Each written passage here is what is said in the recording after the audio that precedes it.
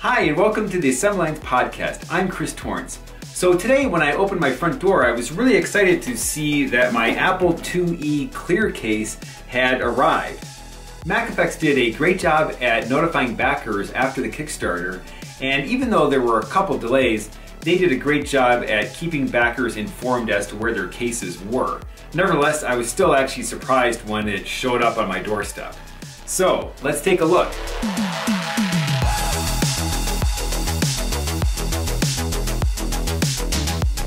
The first thing I noticed was how professional looking the package was. So it came in a branded box with a picture of the actual clear case inside. And then inside the box were some styrofoam inserts that perfectly fit the sides of the case itself. So everything arrived completely undamaged and in perfect shape. Let's take a look at the actual case. All right, so here's the clear case itself. I got the one that's branded as an Apple IIe. There was also an option to get one branded as an Apple II GS if you were making a Stealth GS. And you can see that what you get is the actual clear case itself as well as the base pan for the Apple IIe.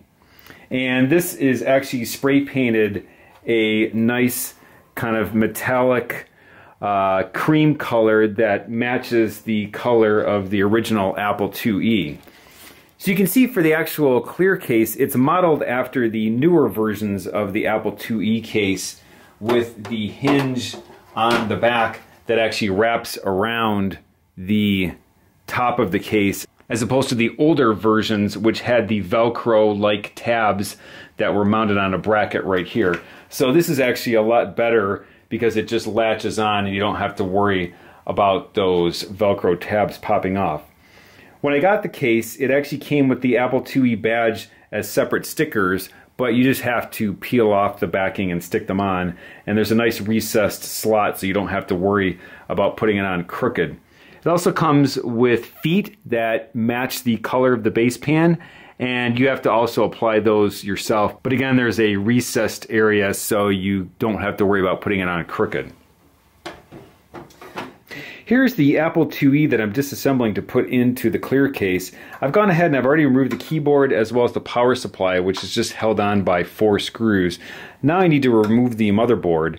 It's held on by four screws here at the back, but then there's also these plastic tabs that the board just gets shoved through. And to remove these, what you want to do is you want to carefully pinch the plastic. There's little wings that spread out.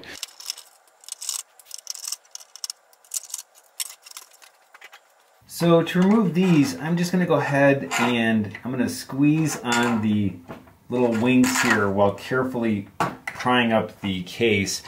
And when you're prying up like this, you try not to put too much torque or bend on the actual case because you don't want to weaken the board itself or the traces.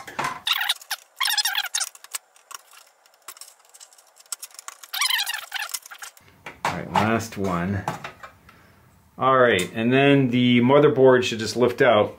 The last thing we need to remove from the case are the plastic mounting tabs here. And again, these are held on just by little wings on either side. So if you just squeeze near the base and then wiggle downward, you should be able to shove them all out just like that. All right, now we'll bring in the new case and just reverse the process. So the first thing I'm to do is put the plastic tabs through the square holes.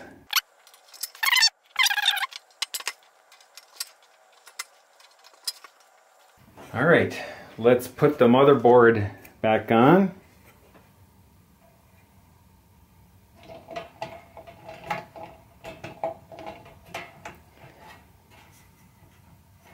Okay, make sure everything's lined up properly. This base pan already has the little metal posts at the back here, so you don't need to transfer those. And we'll just carefully shove down kind of evenly. It helps if you put your hand underneath maybe a little bit, just to give it something to rest on. And now we can go ahead and screw the back of the motherboard back in. Okay, so the motherboard is fastened down. Let's go ahead and attach the speaker to the case The speaker faces downward on the Apple II series like that, and then there's these metal brackets which fit into tabs on either side of the speaker. And you just need to take a look at the orientation of the metal bracket to see which way it goes. One thing to keep in mind when you're putting the brackets on, you want to make sure that it's not actually shorting out the plus and minus on the speaker itself. If you do it right, the bracket should go completely underneath the tab and out the other side. And so then just repeat the process for the other side as well. Okay, next let's put in the power supply. So that's just held on by four screws. And the easiest way to do this is just flip the case over and line it up and then just put in the screws.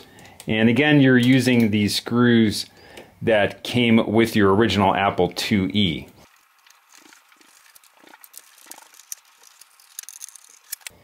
Okay, we'll plug in the power supply there.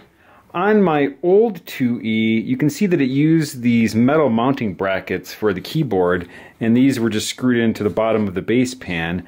And so I thought that these are the brackets that I would actually need for the new one. But when I actually tried it, I was able to just screw the keyboard into the attached mounts on the clear case itself. So I don't think I actually need the brackets.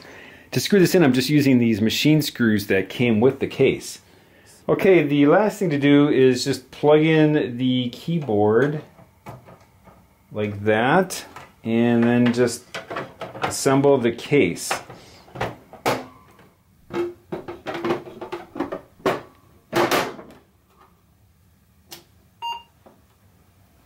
All right, so there you have it. There is the Apple IIe clear case from MacEffects. The plastic of the case is really nice. It's a hard plastic completely transparent. It's very smooth on top. It's definitely been polished. It also looks really durable and sturdy. The only thing that I might add to this would be a different keyboard. However, MacEffects just announced a new Kickstarter for a clear keyboard. So I'll have a link in the show notes to that. Overall, I'm really impressed with the Apple IIe clear case from MacEffects.